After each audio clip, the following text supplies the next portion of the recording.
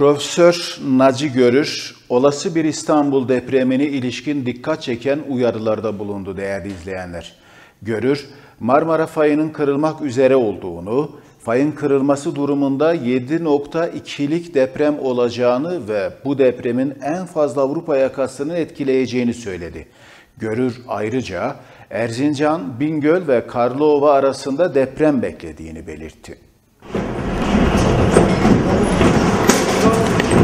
Profesör Naci Görür olası bir İstanbul depremine ilişkin dikkat çeken uyarılarda bulundu. Görür, Marmara fayının kırılmak üzere olduğunu, fayın kırılması durumunda 7,2'lik deprem olacağını ve bu depremden en fazla Avrupa yakasının etkileneceğini söyledi.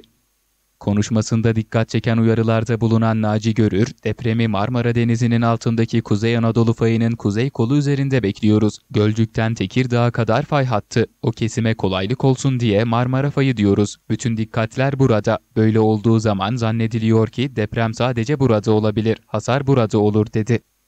Kuzey Anadolu fayının bir adalar fayı segmanı ile Kumburgaz fayı üzerinde kilitli olduğunu belirten Görür, Marmara'da deprem olursa ya adalar fayı üzerinde olur. Bu aşağı yukarı 43 kilometredir. Tamamı kırılırsa maksimum 7 büyüklüğünde deprem üretir. Veya Kumburgaz fayı Yeşilköy, Silivri açıklarında uzanır. Bu 65 kilometredir. Bu kırılırsa da minimum 7,2 büyüklüğünde deprem üretir. Tekirdağ kısmı tartışmalı. Oraya girmeyeceğim. Dolayısıyla dikkatlerimiz orada. Marmara fayı kırıldı, kırılacak. Kırılırsa minimum 7,2 büyüklüğünde deprem üretecek diye konuştu.